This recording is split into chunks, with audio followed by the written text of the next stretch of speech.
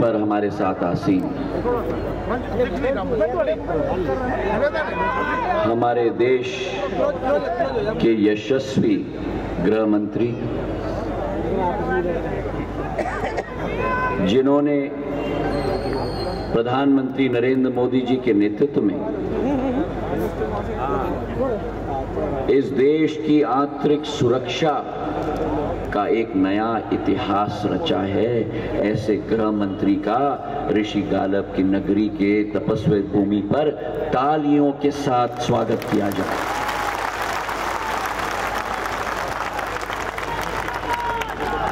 नहीं नहीं नहीं नहीं नहीं नहीं नहीं। ये ग्वालियर की ताली नहीं सुनी मैंने। मुझे तो ग्वालियर की ताली सुनाओ।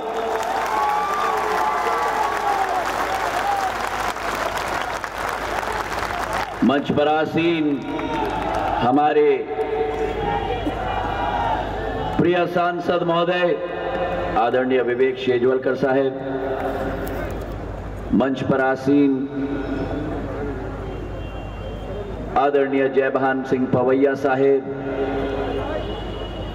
विजय दुबे जी, हमारे जिलाध्यक्ष अभय चौधरी जी, हमारे वेद प्रकाश शर्मा जी राकेश मौर साहेब, अरुण कुलश्रेष्ठ जी, मनोज तोमर जी, हरिपाल जी, अशोक शर्मा जी, मीना सचान जी, राजकुमार परमार जी ओम प्रकाश शेखावत जी, अरविंद राय जी राजेंद्र जैन जी, राजू पलैया जी, विनोद शर्मा जी, विनोद विनय जैन जी, प्रबल प्रताप सेंगर साहेब, दीपक शर्मा जी, केशव माझी जी, धर्मेंद्र तोमर जी, हेमलता बुदोलिया जी, मंच पर आसीन समस्त हमारे महानुभाव और मेरे लिए सबसे महत्वपूर्ण मेरी आन, बान और शान और मेरी जीवन की मकसद, मेरी ग्वालियर की समस्त जनता जनार्दन जो इस मैदान में उपस्थित है। और मेरे साथ में खड़ा हुआ प्रधानमंत्री नरेंद्र मोदी जी के प्रत्याशी, गृह मंत्री अमित शाह जी के प्रत्याशी, भारतीय जनता पार्टी के अध्यक्ष नड्डा साहब के प्रत्याशी मध्य प्रदेश के संयुक्त नेतृत्व के प्रत्याशी एक एक कार्यकर्ता के प्रत्याशी और ग्वालियर के मेरे जन जन के प्रत्याशी प्रद्युम सिंह तोमर जी जो मेरे पास में खड़े हमारे गृह मंत्री जी का मैं स्वागत करना चाहता हूँ। ऋषि गालब की तपस्वी की भूमि की पर और ऐसे गृह मंत्री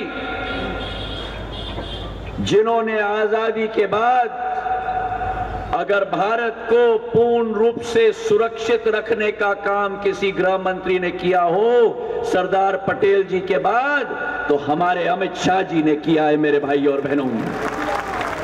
एक ऐसे गृह मंत्री जिन्होंने प्रधानमंत्री जी के नेतृत्व में कश्मीर को भारत का भिन्न अंग बनाने के लिए 370 रद्द करने का ऐतिहासिक कदम को लागू करने का काम किया मेरे भाई और बहनों। एक ऐसे गृह मंत्री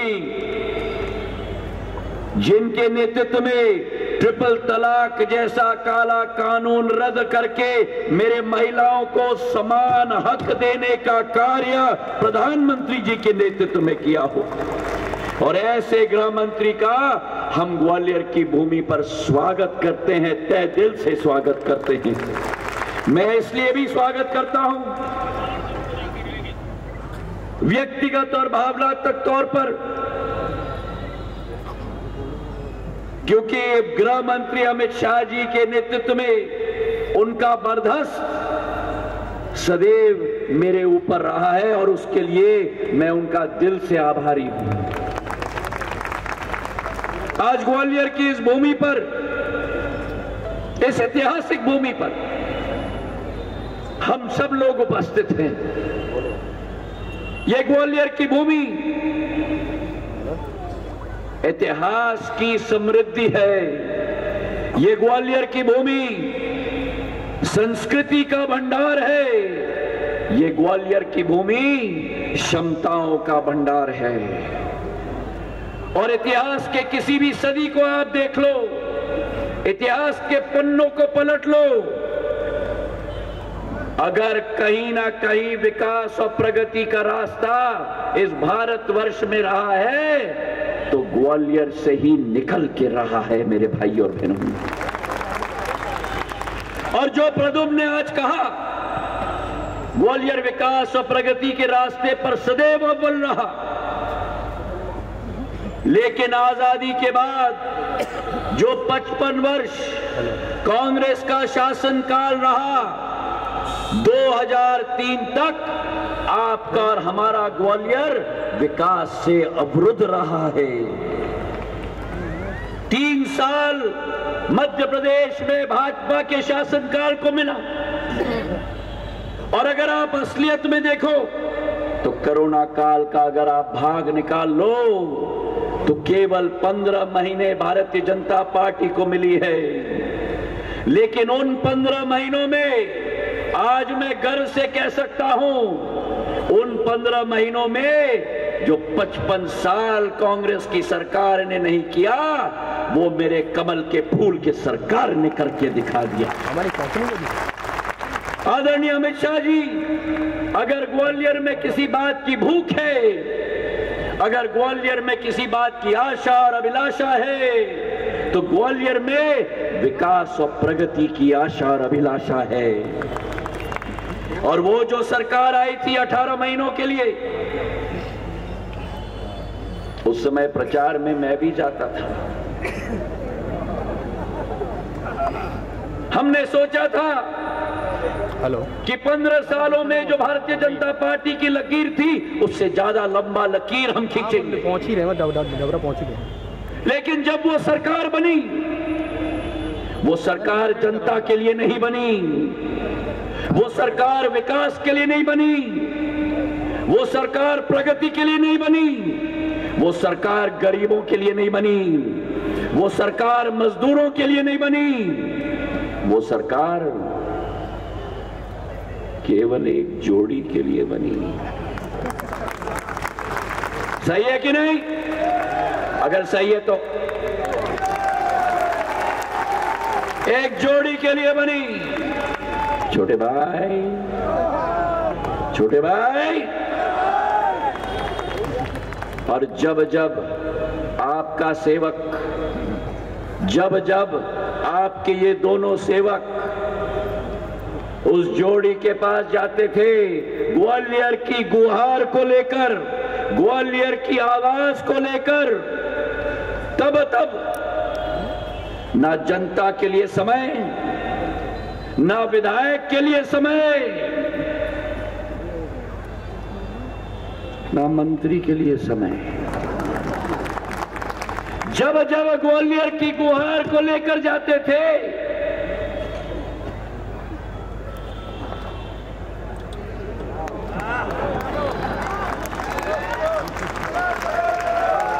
चलो चलो। तो जिस मुख्यमंत्री ने ग्वालियर की जनता को कहा, चलो चलो। जिस मुख्यमंत्री ने ग्वालियर के विधायक को कहा, चलो चलो, वो मध्य प्रदेश की जनता ने उस सरकार को कह दिया। और आज मुझे गर्व है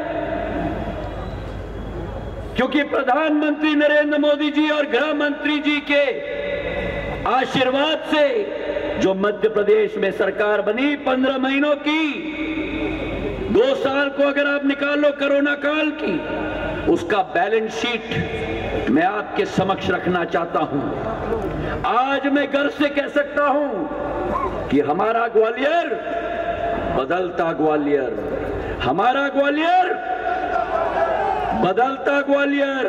हमारा ग्वालियर बदलता ग्वालियर, हमारा ग्वालियर विकसित ग्वालियर। पंद्रह महीने, अठारह महीने के अल्प समय में कोरोना काल में, चाहे नरेंद्र सिंह जी हो, पवैया जी हो, शेजवलकर साहब हो, प्रभात झा जी हो, मुख्यमंत्री जी हो, हम सबने मिलकर प्रदुम सिंह तोमर हो एक एक व्यक्ति ने मिलकर ग्वालियर का एक विकास का खाका बनाया है। और केवल खाका नहीं, हम आपके सामने 5G के साथ नहीं आ रहे फाइव गारंटी के साथ फाइव जी के साथ नहीं आ रहे, क्योंकि वो फाइव जी वाले लोगों ने तो अपने कार्यकाल में टू जी करके दिखा दिया है। जिन्होंने भ्रष्टाचार टेलीकॉम का 2G करवाया है, वो क्या फाइव गारंटी देंगे? हम आए हैं आपके सामने, हमारे तीन साल के सरकार में ग्वालियर में एक भव्य एयरपोर्ट बन रहा है। जिसका शिलान्यास किसी और ने नहीं, हमारे देश के गृह मंत्री जी ने ग्वालियर में आकर 16 अक्टूबर को किया। और गृह मंत्री जी, हम आपको गारंटी देते हैं कि ये देश का नहीं, लेकिन विश्व का सबसे जल्दी बनने वाला हवाई अड्डा होगा दिसंबर के माह या जनवरी के माह में पूर्ण रूप से 500 करोड़ रुपए का हमारा हवाई अड्डा तैयार हो जाएगा 14 महीने के अंदर। जहाँ एक तरफ़ एयरपोर्ट बना, हमारा ग्वालियर, बदलता ग्वालियर, हमारा ग्वालियर हमारा ग्वालियर बदलता ग्वालियर, हमारा ग्वालियर विकसित ग्वालियर। जहाँ एक तरफ़ एयरपोर्ट बन रहा है प्रधानमंत्री जी के आशीर्वाद से दूसरे तरफ़ भव्य नया रेलवे स्टेशन बन रहा है, जहाँ एयरपोर्ट बन रहा है 500 करोड़ का रेलवे स्टेशन बन रहा है। तीसरे क्षेत्र में जिसने कल्पना किसी ने नहीं की, स्वर्ण रेखा नाला, वो नाला जो इतिहास में नाला होता था, उस नाले के ऊपर एक एलिवेटेड रिंग रोड 15 किलोमीटर का बन रहा है 1300 करोड़ का मेरे भाई और बहनों। पहले केस में ट्रिपल आईटीएम से महारानी लक्ष्मीबाई के समाधि स्थल तक और दूसरे केस में महारानी लक्ष्मीबाई के समाधि स्थल से गिरवाई पुलिस चौकी तक 28 एंट्री पॉइंट होंगे और 30 एग्जिट पॉइंट होंगे। हाईवे ग्वालियर के अंदर बनने जा रहा है मेरे भाई और बहनों। हमारा ग्वालियर हमारा ग्वालियर हमारा ग्वालियर बदलता ग्वालियर, हमारा ग्वालियर विकसित ग्वालियर। इस ग्वालियर में, गर्मी के माह में मेरे ग्वालियर के वासियों की लाइन लगती थी। पानी की किल्लत। एक एक बूंद पानी के लिए प्यासे कंट लाइन लगाकर बैठते थे। मेरी महिलाएँ बाल्टी लेकर खड़ी होती थी। हमने कसम खाया था। कि ग्वालियर के लिए हम पानी चंबल से लाएँगे। और आज इस मंच से शिवराज सिंह चौहान जी को मैं धन्यवाद देना चाहता हूँ।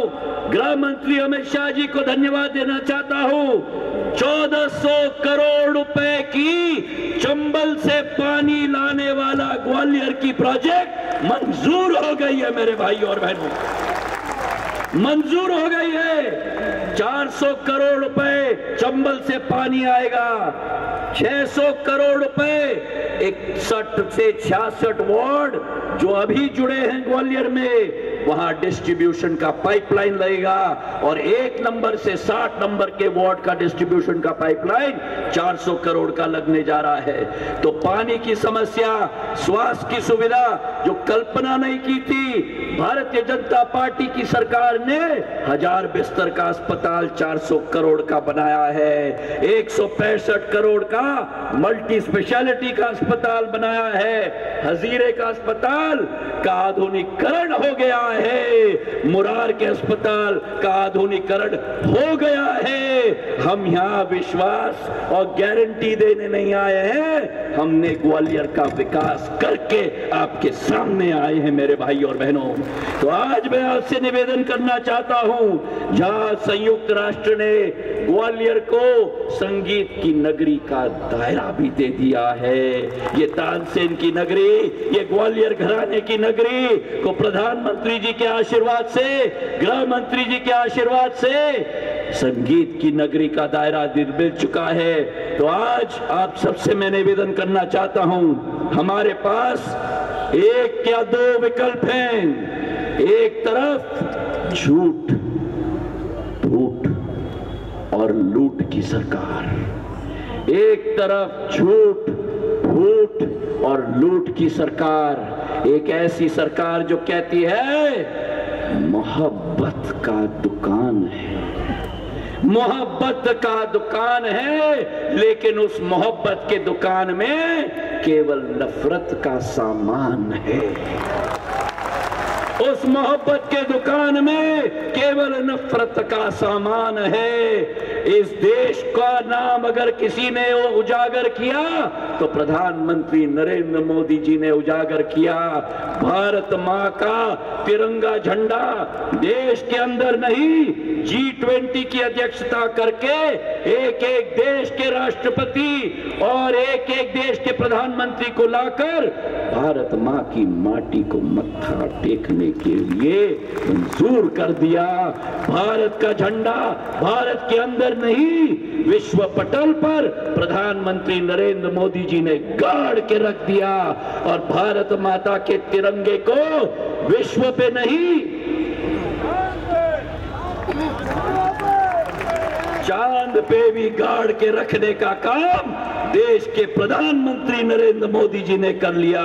तो आज एक तरफ़ आपके पास है डबल इंजन की सरकार और दूसरे तरफ़ बिना इंजन की सरकार।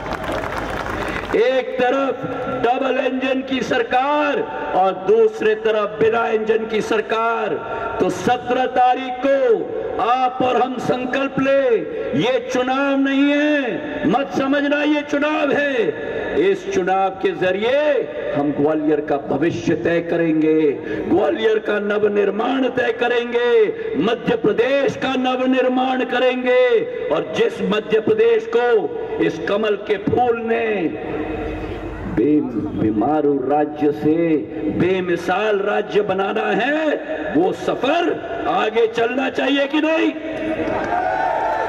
चलना चाहिए कि नहीं?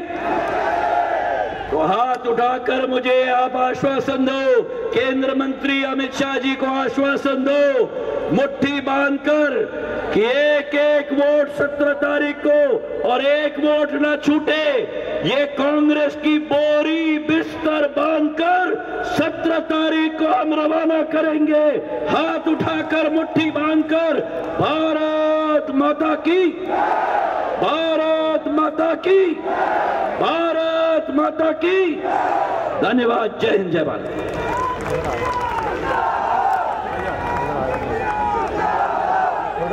आचार्य कौशल्य को और वीर सावरकर को अपना प्रेरणा पुंज मानने वाले, आज वास्तव में खुद ही प्रेरणा के केंद्र बन गए हैं।